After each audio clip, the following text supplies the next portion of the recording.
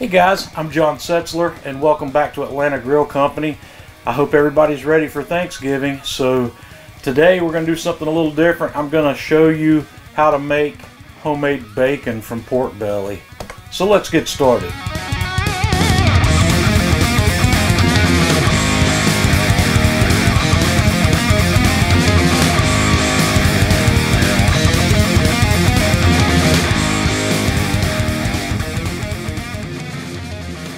Get this bacon project started with a nice piece of pork belly here.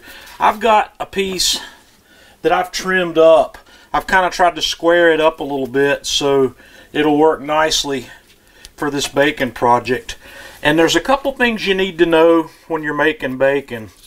And it's all about getting the right amount of curing salt for the weight of meat you've got.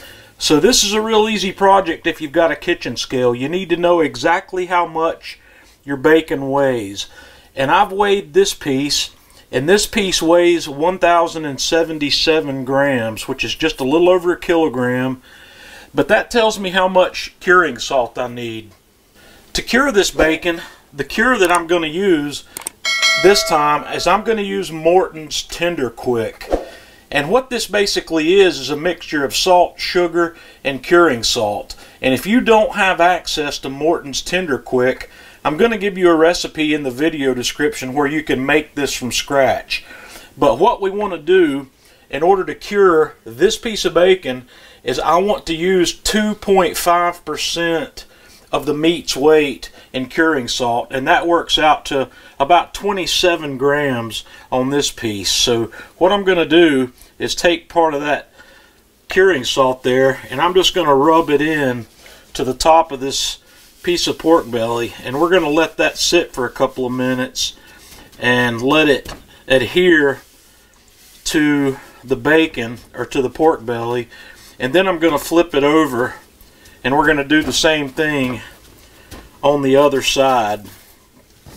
And any that falls off there I'm just going to make sure I collect it because we're going to put it in our bag. So now that I've got all my curing salt on this meat I'm going to put mine in a vacuum seal bag. If you don't have a vacuum sealer put this in a gallon Ziploc bag and get all the air out that you can. Once you have your pork belly with the cure in your Ziploc bag or in your vacuum seal bag, what we're going to want to do is just toss this guy in the refrigerator.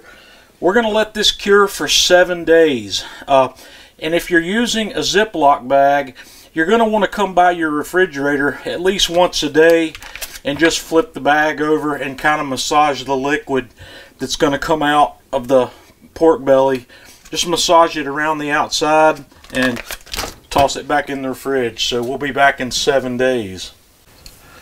We've been going seven days here on the pork belly with the uh, Morton Tender Quick Cure. And I've been, like I said, taking this out of the refrigerator every day and just kind of giving it a rub to make sure that we've had good contact. So what I'm going to do now is I'm going to take this out of the bag and I'm just going to rinse it off and towel dry it and we'll be right back. The next thing I want to do with this bacon after I have it rinsed off and dried is I want to make a little bit of a sweet glaze to go on here. I'm going to use a little bit of the Runamok maple syrup that's got cinnamon and vanilla in it. And I'm going to use my measuring cup here and I'm going to pour out uh, about a quarter of a cup of this maple syrup into my measuring cup. And then I'm going to put a... Uh, a splash of some bourbon in here with it and we're going to give that a quick mix. Maybe two tablespoons of bourbon and I'm just going to take one of my measuring spoons and kind of give that a mix to get that equalized. And I've put my pork belly back in another clean vacuum seal bag and I'm going to dump our maple syrup and bourbon mixture into this and then I'm going to kind of spread that around a little bit let that get on all surfaces of this pork belly and then I'm going to take it back and vacuum seal it. So I've got our bourbon and maple syrup mixture in the uh, vacuum seal bag and what I'm going to do is just once again make sure I've got it completely coated. And when you're using vacuum seal you can get away with a lot less of this. So what I'm going to do now is put this back in the refrigerator for uh, 24 more hours. It's about time to smoke our bacon so I want to make a seasoning rub that I can put on the outside of this you can use whatever you like, but I don't want to add any more salt to this since it's already cured. So I'm going to start out here with a simple rub that's going to be a tablespoon of black pepper, a tablespoon of paprika, one teaspoon of granulated garlic, one teaspoon of granulated onion. And I'm just going to take my whisk and mix that together and I'm going to put it in a shaker. Okay, I've got my A-MAZE-N uh, pellet tube smoker here. This is the 12 inch one. I've got it stuffed full of pellets that uh, in my case are the B&B oak, pecan, and cherry blend. And I'm going to use my torch and I'm going to get that lit. I'm going to hold my torch on there for about 20 seconds. And then I'm going to just let that burn for a moment and I may actually need to hit that again. We're going to let that burn with the visible flame for a minute or two. And after that's had time to burn for a couple of minutes, I'm just going to blow out the flame. And I'm going to take this uh, accessory rack off and I'm going to set this down in the bottom of the firebox of my Kamado Joe.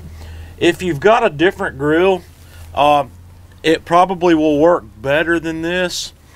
Uh, Kamado Joes hold heat very well, so if you've got a less efficient grill or container, you can do this in any kind of container you want. So I'm going to set that accessory rack back down there, and I'm going to put the heat deflectors right on top, and then I'm going to set my grill grates up here on top, and just let that smoke for a few minutes while we go get our bacon seasoned and ready to come onto the grill. So I've taken our pork belly back out of our vacuum seal bag that had the maple syrup and bourbon in it and I'm just going to uh, season both sides of this with some of that rub we just made and I'm just going to take that with my hand and spread that out evenly on the fat side of this. And then I'm going to flip it over and hit the meat side most of the rest of that rub we just made. And I'm going to let that sit for a few minutes and then we're going to take it to the grill. Okay, I'm going to set our pork belly slab right there in the middle of that grill and I'm going to close the close the dome. The bottom vent is going to be set fully open and I'm just going to pull the top vent completely off and I'm going to let this go until our smoker tube dies out. I'm going to get four to six hours worth of smoke from that tube and then I'll evaluate if I want to go any further than that. We've been going almost five hours now and uh, this guy's taking on some smoke color that looks pretty decent but I think what I'm going to do is let it go for another five hours. And I'm going to pull this off momentarily. I'm going to take my pellet tube out. Even though it's still burning, I'm going to reload it, relight it, and put it back in here. And we'll be back to have another look at this in about five more hours. And before I unload this A-MAZE-N, uh, or the A-MAZE-N pellet tube, I just wanted to show you where it is. It's burned almost all the way down to the very end of the 12 inch tube. And like I said, we're right at about the five hour mark. That thing's probably going to smoke for another 20, maybe, maybe 30 minutes. So uh, you're looking at five to five and a half hours of total smoke time on that tube. We've been going nine hours now, and I believe this is about where I want it to be. Uh, some people like to smoke longer, some people like to smoke shorter. So whatever works for you is how long you should smoke this. So what I'm going to do now is I'm going to take this thing off the grill. Uh, my grill the internal temperature in my grill here has been about 90 degrees for the last several hours. So I'm going to take this out and I'm going to set it on a rack and I'm going to let it cool for about an hour in the refrigerator before I vacuum seal this because we're gonna I'm gonna vacuum seal this and let this sit for a day or two before I slice it. I've let that bacon equalize for another day or two in the refrigerator before I sliced it apart here. I want you to have a look at that. That just looks beautiful. I made me a couple of nice thick slices here. I'm heating up a pan and uh, we're going to cook some of this. Alright, I've got my pan warmed up. So we're going to throw a few slices of this right here in our Finex pan and give it a quick cook. And homemade bacon doesn't cook quite like your store-bought bacon. It takes a little longer to cook this, especially with the thick slices. And after a couple of minutes on there, I'm going to give these guys a flip. Heck yeah, that's looking good. Let that finish cooking here.